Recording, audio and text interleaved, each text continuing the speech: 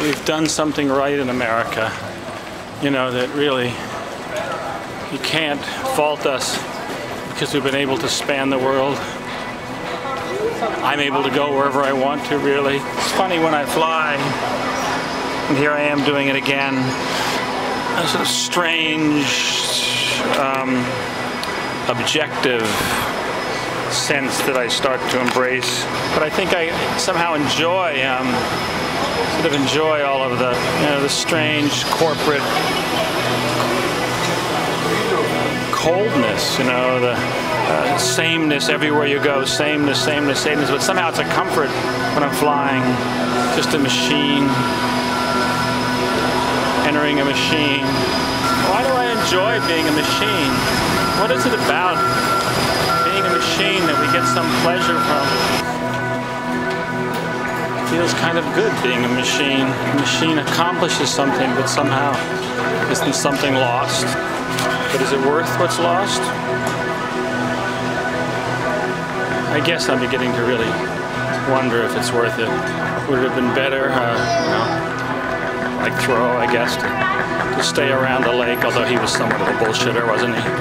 He's a good writer, interesting writer, but he didn't really spend all that long at the lake, no matter how you slice it, though. I still like to travel.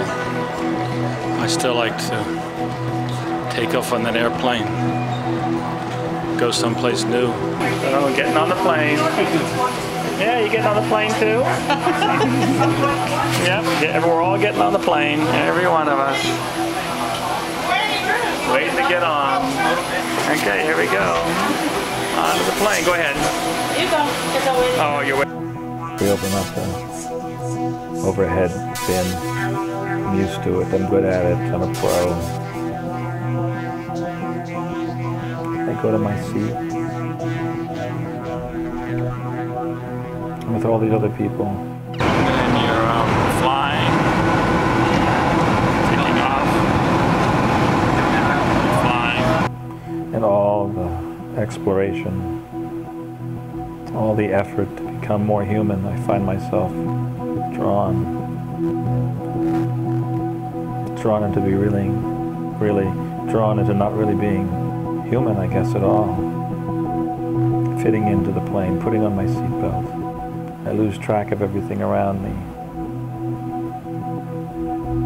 I dream. I don't remember my dreams. After all, I'm a machine. It's a night flight. I almost know I'm going to wake up when I do. There it is. Hmm. Miraculous.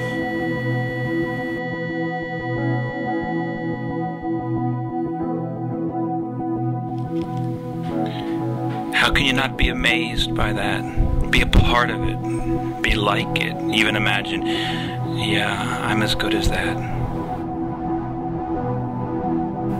So strange that a machine brings me to here. I'm grateful somehow. Grateful leaning back in a seat, looking out this window, protected from the cold that must be just beyond that window, and the sun beyond, and the earth and the curvature.